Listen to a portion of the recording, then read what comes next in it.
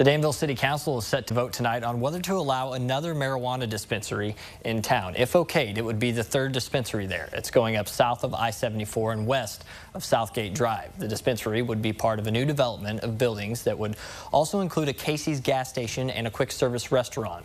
As part of their regular meeting, the council will vote on approving special use permit for MariWorks. The proposal has the support of the Danville Area Planning and Zoning Commission, which unanimously recommended approval on June 6th.